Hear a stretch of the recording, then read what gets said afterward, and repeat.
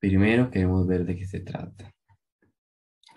Estemos que trata de comida, población y crecimiento demográfico. Luego queremos buscar cuál es la oración de introducción. The spread of prosperity across the world, especially in China and India, is driving an increased demand for meat, eggs, and dairy, boosting pressure to grow more corn and soybeans to feed more cattle, pigs, and chickens. Eh, esa podría ser una introducción. Veamos la siguiente. If these trends continue, these, these no sabemos cuáles son. But sheer population growth, ese but no va a ser una introducción. We'll likely have 2 billion more mouths to feed by mid-century, more than 9 billion people.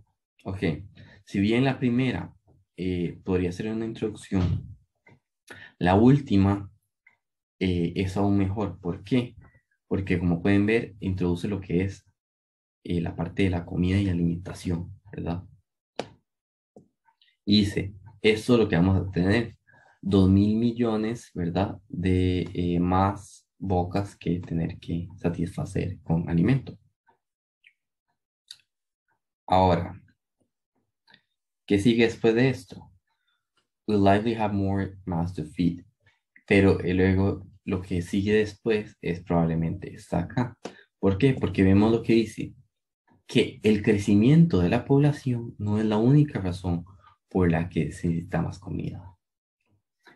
¿Cuál es la otra razón? Esta de aquí. Entonces, esta no es la única razón, da una razón. Dice que esa no es la única y da la segunda razón en esta. ¿Cuál es la segunda razón? Que este, la prosperidad también pone presión porque quieren más tipos de alimento y ese alimento requiere alimento también. O sea, necesitan alimento para el alimento de las vacas.